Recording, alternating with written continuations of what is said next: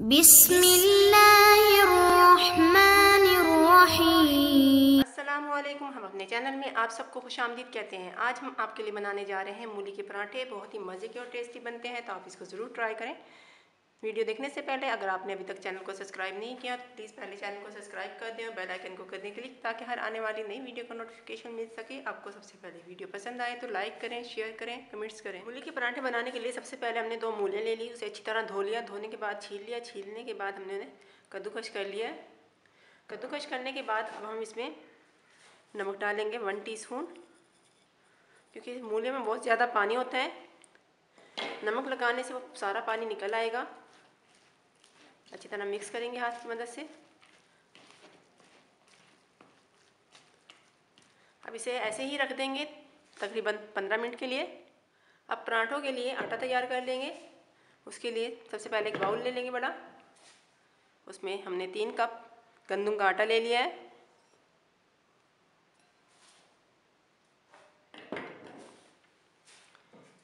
और एक कप हम इसमें मैदा शामिल करेंगे। हमने इन्हें छान लिया दोनों को अच्छी तरह।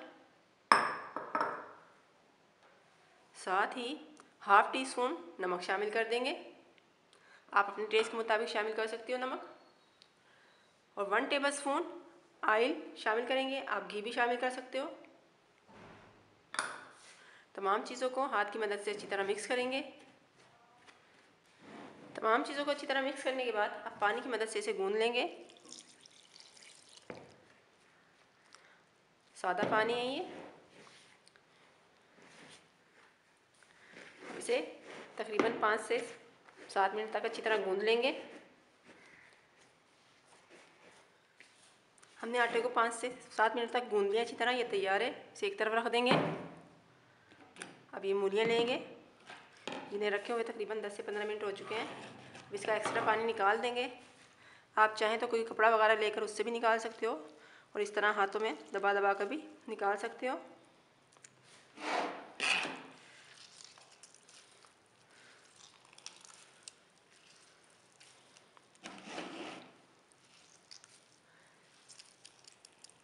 अच्छी तरह दबाकर तमाम पानी निकाल लेना है। हमने तमाम मूलियों का पानी निकाल लिया है।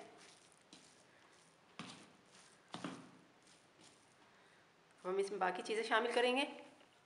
सबसे पहले बर्तन में ऑयल डालेंगे, तकरीबन वन टेबल स्पून के बराबर।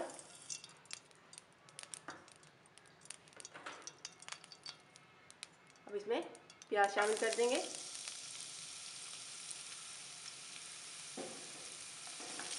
हमने बहुत ज़्यादा नहीं पकाना इसे बस हल्का सा ही, सिर्फ़ 10 से 15 सेकेंड हमने एक दरमियाने साइज़ की प्याज लेकर उसे बारीक बारीक चॉप कर लिया था।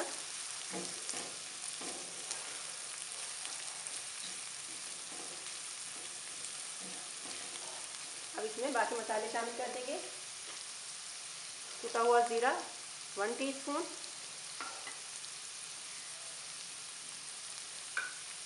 कुटी हुई लाल मिर्च वन टीस्पून आप अपने टेस्ट के मुताबिक कम या ज़्यादा कर सकते हो। तो मसाले कम पसंद हैं तो कम डालें। नमक हाफ़ टी स्पून या जायके के हँसते जायका, क्योंकि हमने मूली में भी नमक डाला हुआ है पहले, और आटे में भी डाला हुआ है, इसलिए थोड़ा ही डालेंगे हम।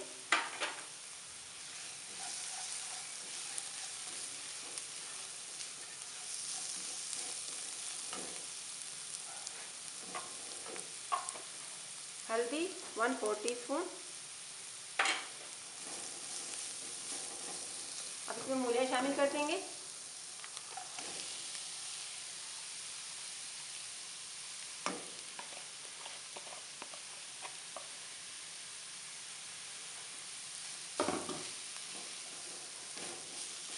मिक्स करेंगे इन्हें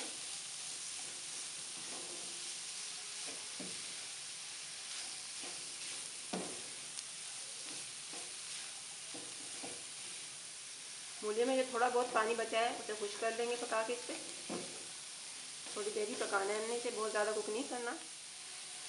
थोड़ी देर पकाने के बाद, अब इसमें कुटा हुआ धनिया शामिल कर देंगे। वन टीस्पून के करीब हमने कुटा हुआ धनिया शामिल कर दिया है। और दो सब्ज़ मिर्चें लेकर हमने उसे बारीक बारीक चॉप कर लिया था, वो भी शामिल कर देंगे इसमें।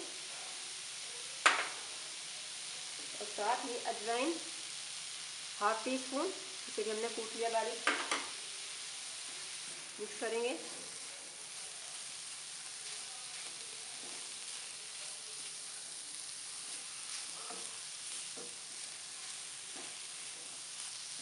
मूलियों को पकते हुए तकरीबन एक मिनट हो चुका है।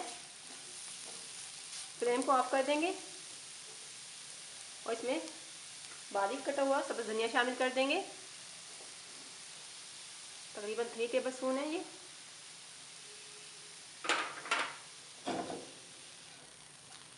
मिक्स करेंगे इसे।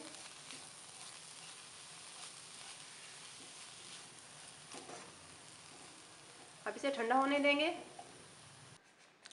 गुदा हुआ आटा ले लेंगे, इसके छोटे छोटे पेड़े बना लेंगे।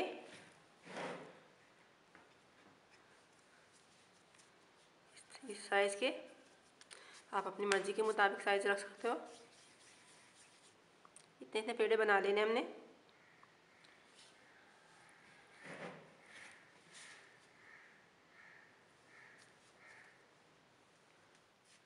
हमने पेड़े तैयार कर लिए हैं। एक पेड़ा लेंगे। आटे में उसे इस तरह करेंगे, दोनों तरफ़ से। इसे बेल लेंगे।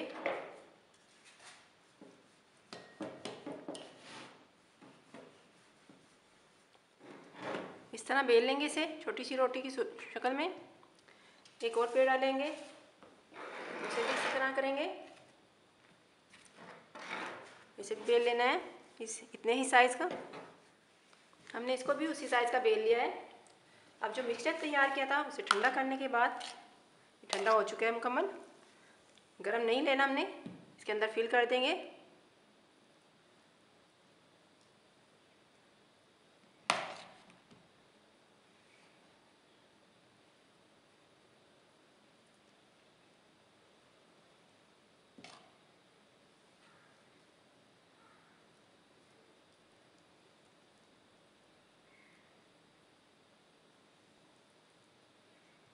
इस तरह। ये दूसरी रोटी बेली थी। इसको इसके ऊपर रख देंगे इस तरह और किनारे इस तरह हाथों की मदद से जोड़ देंगे।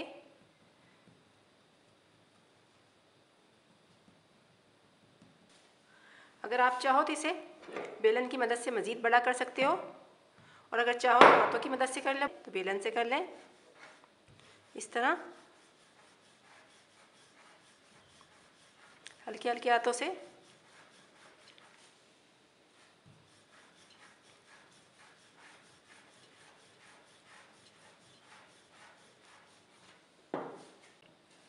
हमने इसको बेल लिया है। अब इसे पका लेंगे। तवे को हमने पहले से गर्म कर लिया है। अब इसको इस पर डाल देंगे। एक तरफ़ से पकने देंगे पहले। एक तरफ़ से पक चुका है तो इसे पलट देंगे। ऐसे। अब इसके इस तरफ़ आयल लगा देंगे।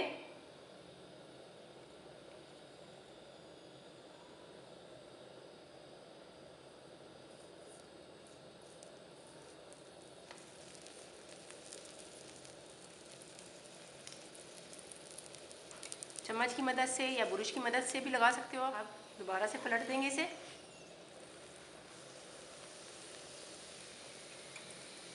तरफ़ भी ऑयल लगा देंगे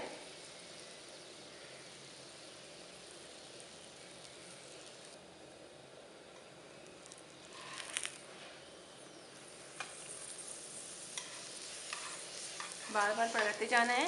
और दोनों तरफ़ से पका लेना है इसे। फ्लेम को मीडियम रखना है। बहुत ज़्यादा इसे नहीं जलाना हमने। दरमियानी आँच पे हम इसे पकाएँगे।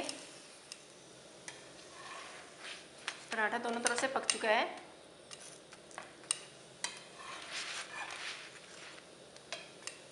किनारों को ऐसे दबा लेंगे ताकि किनारे भी कच्चे ना रहें। देखें, दोनों तरफ़ से बहुत अच्छी तरह गोल्डन ब्राउन हो चुका है।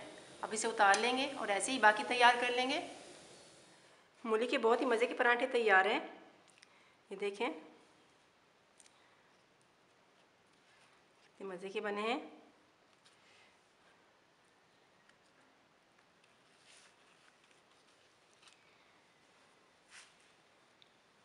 बहुत ही मज़े के और टेस्टी बने हैं तो आप इसको ज़रूर ट्राई करें। वीडियो पसंद आई हो तो लाइक करें, शेयर करें और हमारे चैनल को सब्सक्राइब कर दें।